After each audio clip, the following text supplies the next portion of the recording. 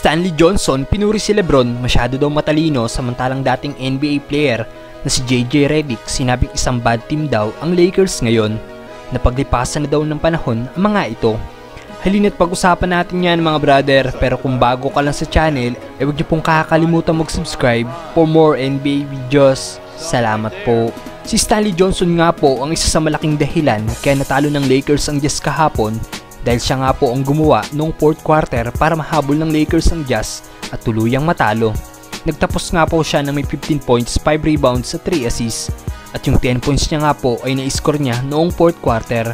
At ang isa nga po sa nakakamanghang ipinakita nito ay ang walang takot itong pag-atake sa 3 times defensive player of the year na si Rudy Gobert at pag-set up sa mga kakampi niya para sa isang open 3 point shots na sobra naman naging effective. At after ng game sinabi ni Johnson na credit daw lahat ng nagawa niya kay The King dahil ito daw ang nagturo ng game plan kung paano tatalunin si Gobert at masyado daw matalino si Lebron mga brother. Dagdag pa ni Johnson ang paglalaro niya daw ng may energy ang isa rin sa dahilan kaya maganda ang naging laro niya kahapon. Tingin nyo mga brother, dapat ang bang bigyan ng guaranteed contract si Johnson o tapusin muna ang natitirang games pa sa 10 days contract nito para makita kung consistent talaga ang magandang nilalaro nito. Samantalang dating NBA player na si JJ Redick, tinawag na bad team ang Lakers. Dahil nga po sa patuloy na pag struggle ng Lakers ay kanya-kanya nang hanap ang mga tao ng explanation kung bakit ganito ang nangyayari ngayon sa team.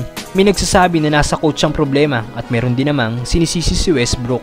Pero ayon nga po sa dating NBA player na si JJ Redick, ang problema daw ng Lakers ngayon ay ang kanilang mismong roster dahil sa 44 games ng nilaro ng Lakers ngayong season ay naipakita na daw ng mga ito sa atin kung anong team sila. At sila daw ay isang bad team dahil pang 24 ang Lakers pagdating sa opensa at pang 18 naman sa depensa. Ang roster daw na nabuo ng Lakers ngayon ay mga player na napaglipasan na ng panahon at mga laos na. Sumasang-ayon ba kayo sa sinabi ni Redick mga brother? Comment down below your opinion at huwag niyo pong kakalimutan mag-subscribe for more NBA videos. Salamat po.